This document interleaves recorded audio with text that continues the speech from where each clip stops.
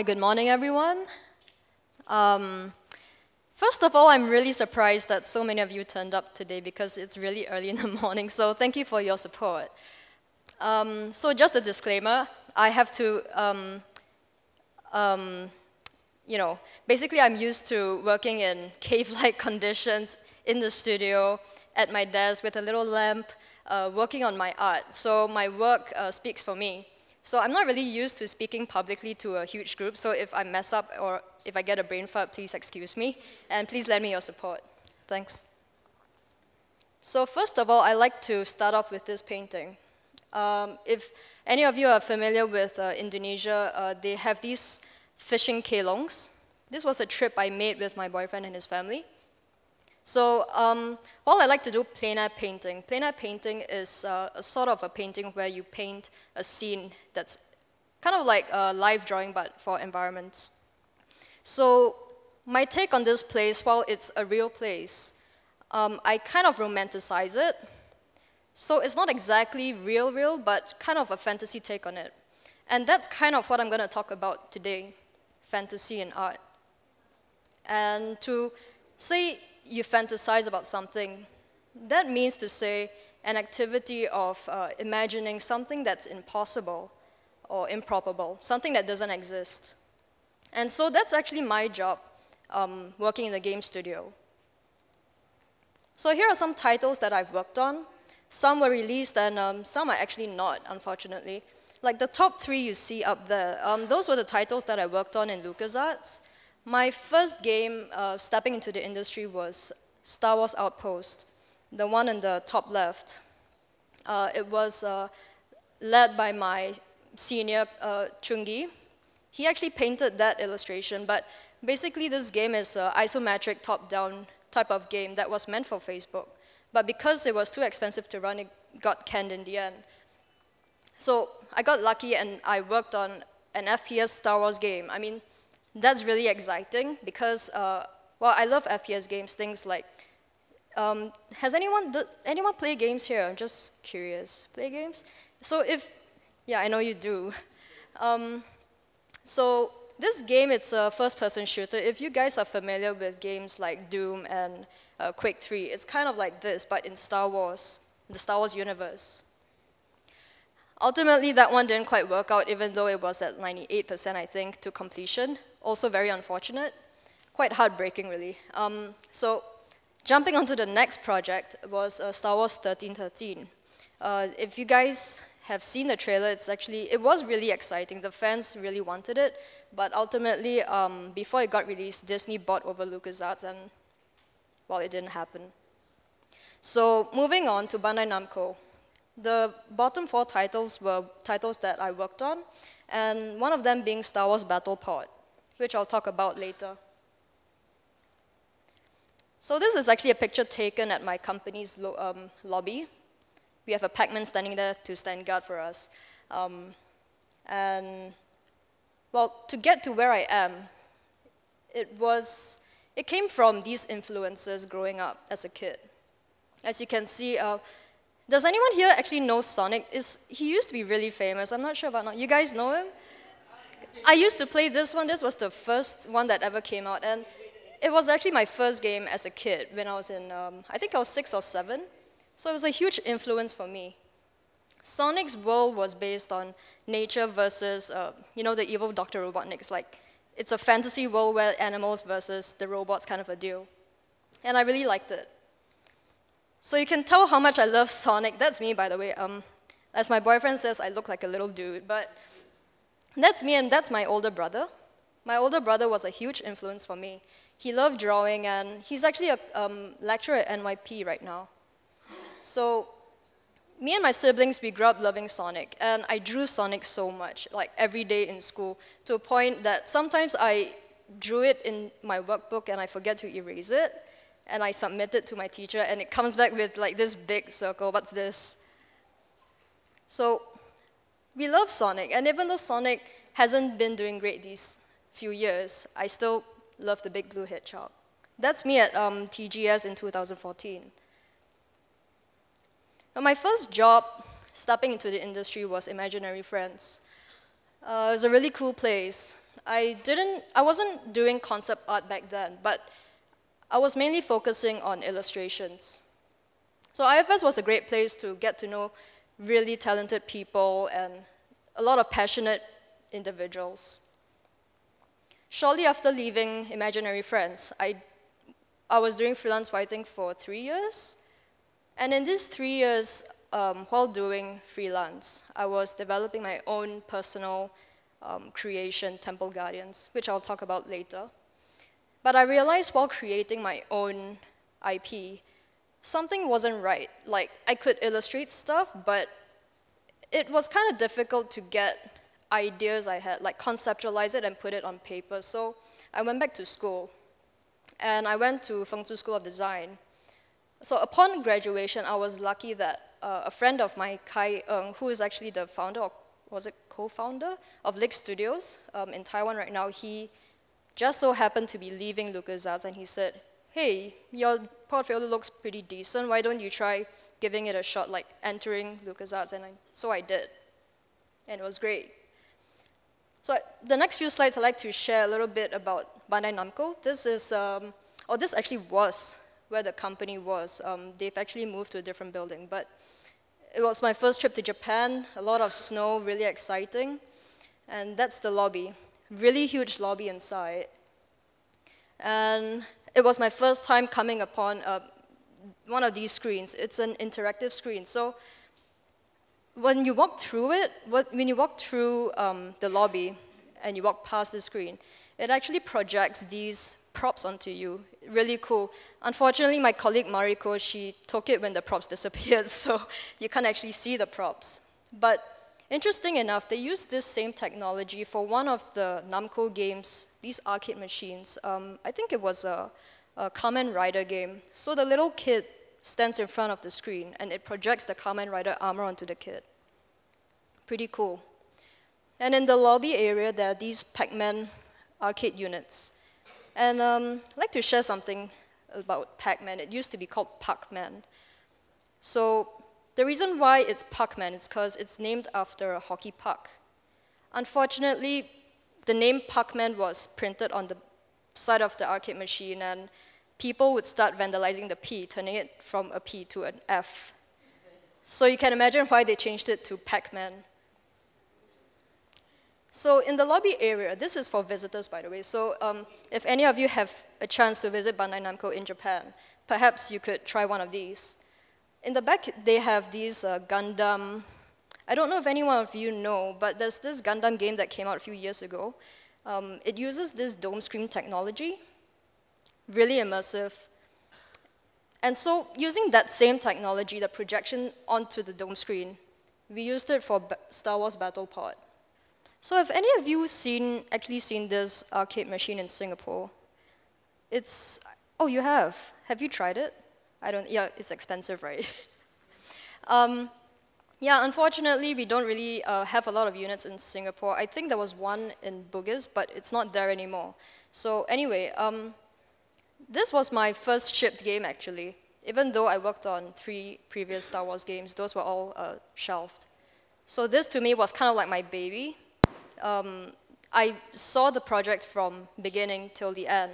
Beginning in a sense that if you saw in the trailer things like the X-Wing flying through the trenches, things like this had to be planned out. Like what sort of elements were we going to put into the game? What's the player going to um, experience in these three minutes? So each of these stages, they, they kind of already exist in the Star Wars universe, but the scenarios that play out, they don't actually happen in the movie. So as a creative person, actually I was the only concept artist working on it. So it was interesting. I was kind of like, I was kind of like a storyboard artist come, um, you know, giving out ideas for what happens to concept art, for lighting, for um, the environments, things that you don't see in the movie. So I have to fill up those black spaces. For instance, in um, the Death Star 2 stage, it's a space battle. And so the game developers, they were thinking, you know, what can we put in this stage to make it interesting? You're just flying through space, destroying ships. So coming up with some ideas, it's a really fast process and it's fun because it's really just from pen to paper. I drew out these storyboard-like panels that show two Star Destroyers. If you guys are familiar with Star Destroyers, they're huge um, Imperial ships, really, really enormous. If the X-Wing is this big, the Star Destroyer is this big. So in the, in the dome machine, you can imagine how epic it feels. The, sun, the scenario that I pitched was two Star Destroyers clashing into one another, one exploding and one crashing, and you as the X-Wing have to fly through it to escape it. So it was fun because we had to fill in things that didn't exist. I myself am a Star Wars fan, so it was definitely a fun ride. And this stage, it doesn't exist in the Star Wars universe as well. It's Vader's revenge. So this part happens um, after A New Hope when Vader's ship gets blown away when the Star Destroyer, sorry, when the Death Star explodes. And you're playing as Darth Vader. Your job is to retrieve this laser cannon that's left in the rubble, like just floating around in space. And the rebels actually want to retrieve it for their own use. So the mission is to destroy the rebels. And again, it's kind of like the previous stage where you're just flying through space. What can happen? So as a creative person, you're dealt with, okay, I'm in space. What can I do to make it look fun? So I'm thinking, okay, you know, there's stuff there's Death Star parts floating around. Give it interesting shapes. And perhaps one of the shapes is the shaft of the laser cannon.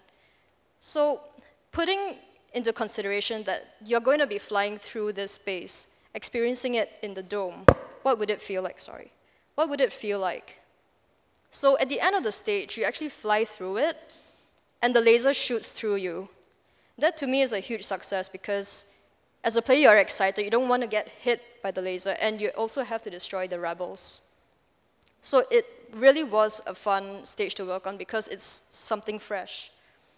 Uh, this is a stage that was added on later on, after episode 7 came out. The previous five stages were done, I think, about a year or something before episode 7 was released. So initially, we were told that we were going to work on an episode 7 stage before the movie is even released. But as things go, it was delayed. And so after the movie came out, we started working on it, and with very, very limited resources from Disney. So aside from commercial work, I like to talk about little projects that I work on. Little projects that I consider to be fantastical worlds that I go to. And the process of getting there, from a little idea to something bigger. So I like to use this project as an example. It's a project that was pitched to me by a friend of mine from Lucasfilm, Wong Kip Man, if any of you know Kip Man. So uh, he, he told me, hey, um, I've got this idea and I'd like you to do the concepts for it. There will be a team of people who will work on it and it will turn into a feature animation. So yeah, I said, sure, why not? So he explained to me, I can't tell the story because I think it's, um, he's still going to work on it later on in the future, so it's better if I don't say it. But all you need to know is steampunk and sci-fi. What sort of world do you get? Something like this. So in front of our character is a steampunk world, one that turns into this rustic sort of a world when the rain hits it. And the world in front in the foreground is the sci-fi world. So helping me get there, during the environment, sci-fi to me feels very clean, very blocky. And while I can draw it, in this case, because it's going to be passed on to a 3D modeler, and the director himself, perhaps he wants to change the lighting, I started off in 3D and then painted over it to get something like this. So in creating a world like this, some, some considerations were, um, some things were considered, sorry. Things like the technology. What sort of energy does this world use? Is it clean energy or is it pollutive? Well, in this case, it's something clean. Therefore, you can see it in the design. It feels fresh. Maybe something like um, out of Oblivion or um, what's that, iRobot, if you guys are familiar with that. So here's some of the interior designs. And, oh, this. Um, yes, so I should explain. This was, um, so this is what I was given. Something like this, like a screenshot of the animatic, something that they, they want to um, emphasize on later on in the, in the animation. And it's basically just a bunch of blocks. But in the description it says it's a heliport where the character hovers over it. So for me as a concept artist, to, I need to you know, pass on these, this idea, my, my design. And the best way to do it was through uh, modeling it. I'm not a great 3D modeler, just to say that first, um, but I can do enough just as a basis, and then I paint over it. So it's easy for me to change from daytime to nighttime. Same goes with props inside. So it's not a finished 3D product, but it's enough for me to explain what the model looks like. So I just draw over it, put some notes, even have a call-out sheet of what the material can be like. So the second project I'd like to talk about is, a, you know, it's a fun project that I did during lunchtime. I mean, I like llamas. Llamas are kind of silly looking, and I mean, who doesn't like llamas, right? So uh, this came to me, um, you know, when I saw this guy walking down the street. It's interesting where we get our inspirations from.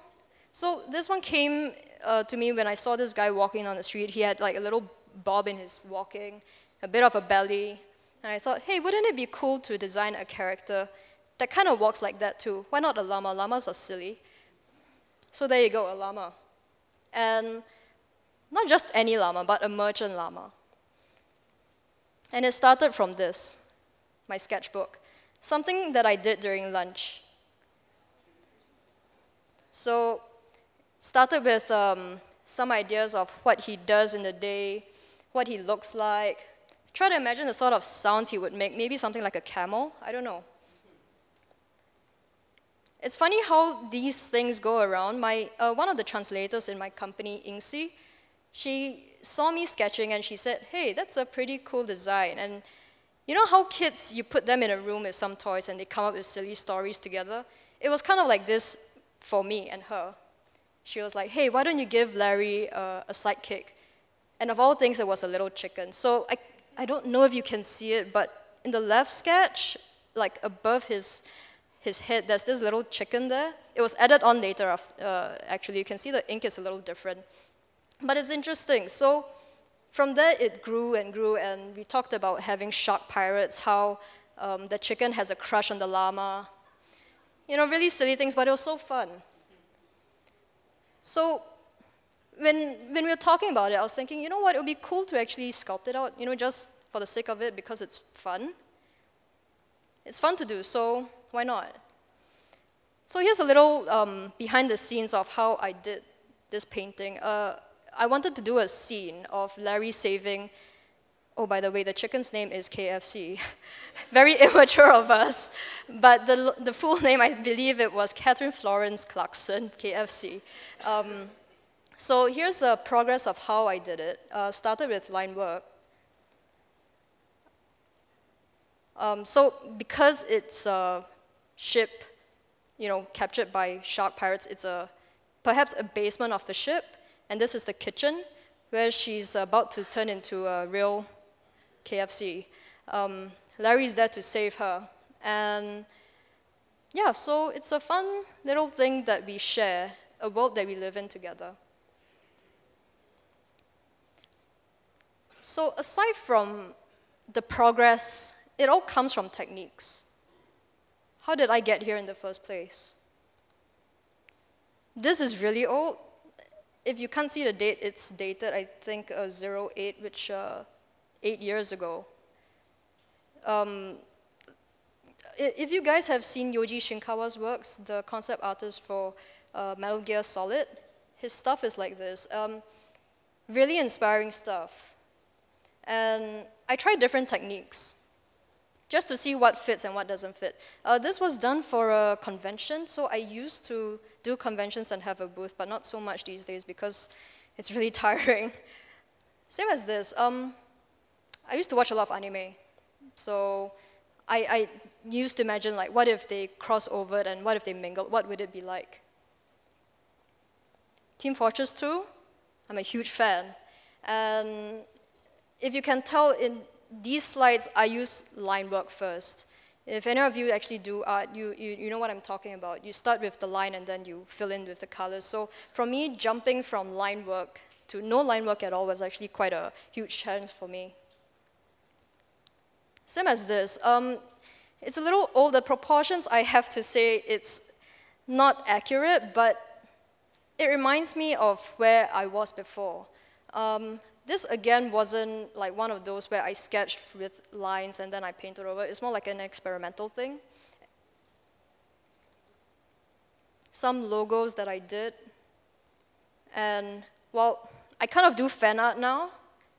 But these days when I do fan art, I try to have my take on it. If you guys can't tell, it's Kylo Ren. and who likes Kylo Ren? I know nobody likes him, but I do.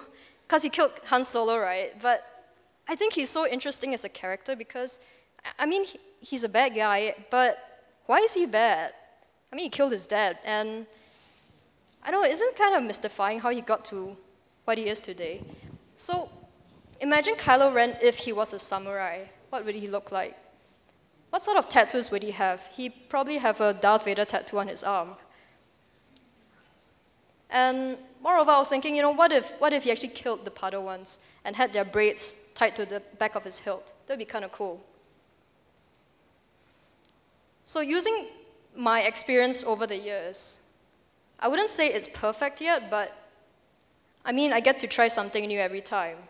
And this, to me, this piece was kind of like a stepping stone from lines to, you know, it's kind of painted, but with a different sort of quality to it. So it's important to actually quality check, you know, compare my stuff to what's out there, and this was one of the pieces. So inspiration comes to us in many forms. What sparks it? It can be in a way, in, in a, you know, a sound you hear or something you see. For me, this piece, it came to me um, when I was listening to uh, trailer music. You know, the sort of music that they play when they play uh, those trailer from like movies like Lord of the Rings and it gets your heart pumping. So I was listening to X-Ray Dogs, I think. And well, it sort of inspired me to do something massive, something that had motion to it. So it started with really huge brushstrokes in Photoshop, and I thought, you know, it's a nice wavy line. What can I do with it? How about a serpent? Now, to back it up, I have a favorite genre, and that is sci fi versus nature. It's a rough sketch, but it kind of explains the sort of feel I'm going for, the sort of genre I like. Also, I like animals, so you can see animals in a spacesuit, kind of my thing. So, well, this piece, um, I wouldn't use it for portfolio if I were to apply for a job, but I think this one kind of resonates with me in a special way because uh, sure, it's just a robot in the sky, but how did it get to me? How, what sparked it? So I'd like to share that with you. Was, so what happened was one day I was walking home from school, and at night, you know, maybe like a 1 km away from where I live, I was walking and I saw this construction building. So you know how the construction buildings have that, they, they have like this green color mesh over it, a netting or something. So at night it was kind of blowing in the wind and they had these construction lights shining up towards it, giving it this very epic sort of a feel. And I thought to myself, wow, that's, that's actually pretty impressive. I mean, it's just a building, but it sort of sparked this emotion, like I wanted to recreate that feeling. And I mean, I wanted to share this with someone. You know, like how you find a, a, shop that has a sale and you want to tell your friends about it, kind of the same thing. So for me, I was thinking, you know, I could very well just take a picture of that building and show it to my friend. But it's so different because to them, they might just see a building. So using that spark that I had, I wanted to portray that feeling. And so I used this as a way to convey it. A robot in the sky, very much like that building I saw at night. I think I'm a little, yeah, short on time actually. So, same as this um, song. I was listening to a song from an anime that I never watched, but it was quite inspirational. So, if you can't tell yet, I have a tendency of, uh, you know, uh, making the environment pretty epic. Whether it's the creature, whether it's the environment, uh, in comparison to the scale of the human. It's something I thrive off and something I really like to do. Here's another example. Um, does anyone know Super Bomberman? Bomberman from the Famicom, a really old game, uh, sprite-based, but if you reimagine it, what would it look like? I'd imagine something like that. So this is from my personal project, Temple Guardians. This piece is, I think, seven years old, but it still resonates with me very much. It's kind of like I, you know, one of those projects that I go to when I think about something epic. I, I come back here. And this scene, because it's so deep embedded in me, deeply embedded in me, um, as one of my assignments in school, I also worked on it, you know, just expanding the universe, expanding on the scene. Interesting enough, I got my hands on HTC Vive. I'm not sure if you guys can actually see it, it's kind of bright.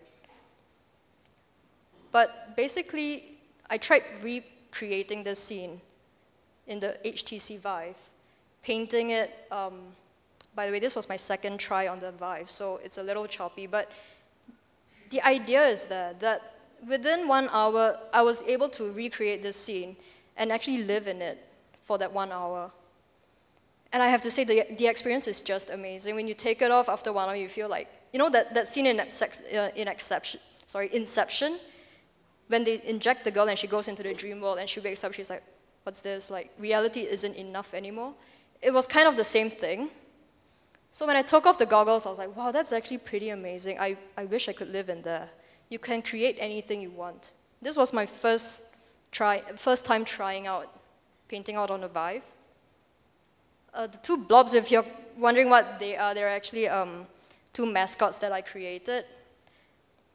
So using this technology, I'm able to create this 3D space and actually live in it.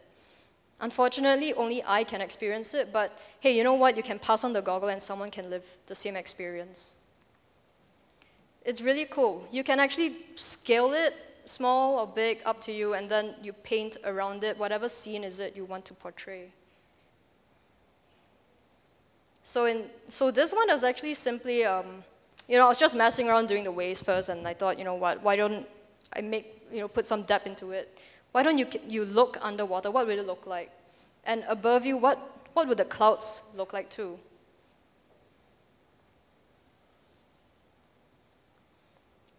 So in this last section, I like to share some of my sketches.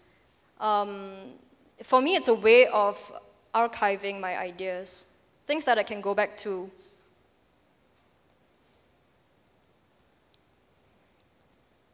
This fire demon, which actually came from a concept like this. And some other creatures that uh, inhabit the same world as it. So these sketches, I do it, uh, you know, maybe after work, before bed, or maybe even during lunch, whenever I feel that spark of inspiration. So if you're wondering, how do you get started? I say, just think of what is it you like to do? What sort of genre is it you like? So it doesn't have to be sketchbooks, but maybe even digitally. If you can't really do it traditionally, why not digitally? It's kind of the same thing. So this started with a sketch, and well, I brought it to Photoshop to further enhance the design. And what sort of environment does the, uh, does the character live in? So this is considered like a simple sketch just to get the idea out. And this one a little bit more um, detailed. It's a different project, but it kind of conveys that idea that, you know, some thoughts are put through it, and to remember what you, what inspired you, maybe you just leave a note there and come back to it another time. So yeah, some of the sketches are really random. I can't explain this one, so it's more of like a shape thing. Like, you know what? I'm to draw wolves, so why not? Same as this. You know, little animals and army men. A raccoon and a bear fixing a tank. Why not? Solid snake in a top hat. Even things that don't even make sense because they're just fun to do. So after work, if I find this really therapeutic. Like after work, you're so stressed out, and you know what? I, I just want to get this energy out and just draw faces. Maybe when I'm angry, I might draw something angry like this. Or something scenic. This was actually from the fishing pond, really, um, in Indonesia. So, yeah, even, even no matter how fantastical the creature is, but whatever it is, there has to be uh, a groundedness to it. So uh, in this case, it's this griffin thing. So I wanted to understand how it moves. And in order to do that, uh, do up a skeleton version of it, what happens inside its body, and perhaps the sort of different armor it can wear.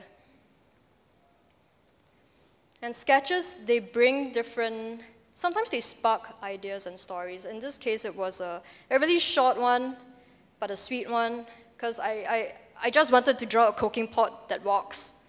It sounds silly, but I wanted to do a wolf and a cooking pot, so why not a wolf sitting on a cooking pot? And my friend, she saw this, she was like, hey, why is the wolf eating the sheep? The sheep is so cute. Why can't it be something more friendly looking? And it's like, okay, you know what? Maybe the wolf is a victim and it doesn't want to eat its food anymore, so why not? So it ends with the wolf spending Christmas with its food. Yeah, so with that, I hope um, I conveyed something to you. And I'd like to explain this just a little bit before I end. That um, just like the first painting I showed you, this was a plein air painting that I did in Melbourne during a holiday there. And this was the living room. I could have just painted, you know, just a normal living room with a normal city in the background. But as I was painting, I couldn't help but wonder what it would be like if the Pacific Rim robot, you know, the one that comes from Sydney, what if it was standing somewhere in the background? What would it look like? So there you go.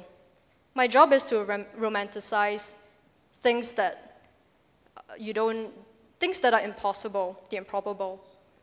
And with that, I'd like to leave you with a quote that I, that I took from Ratatouille, actually.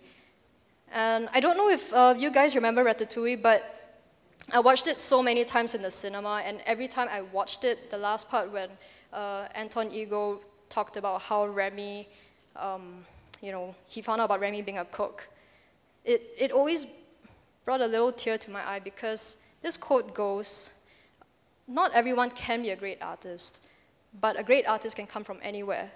But I'd like to add a bit more to that, and that is, a spark can come to anyone, anywhere as well. So thank you for your time.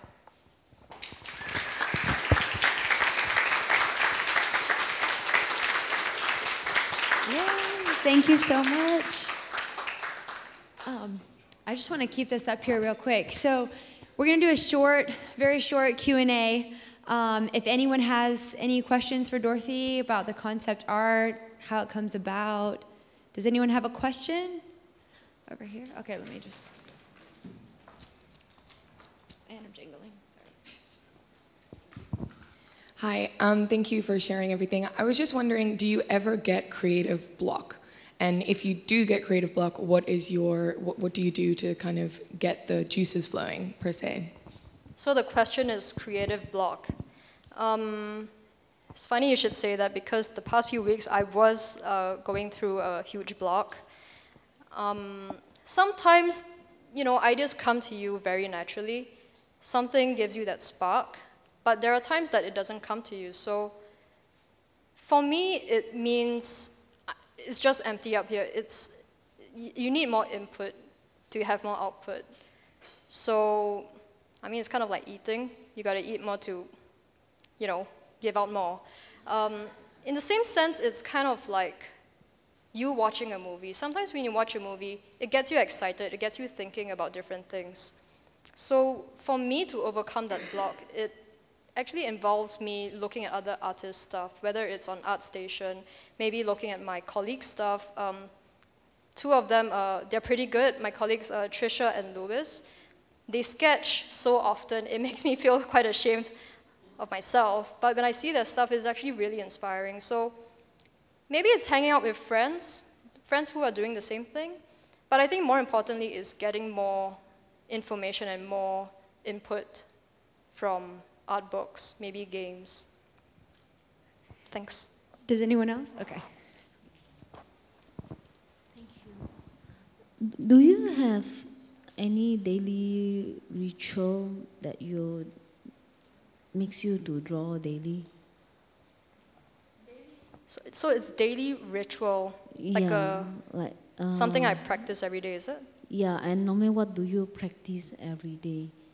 And do you also like, uh, how do you kind of make yourself more productivity, productive at home? Because sometimes home is can be a bit noisy and Yeah. a bit hard to concentrate, and especially how you balance your family and your work life. Okay, so um, it's how to be creative and productive Yeah, at home. at home and also how to like find someone who is like has similar interests as you I think similar interest wise, you can try going to different forums or websites.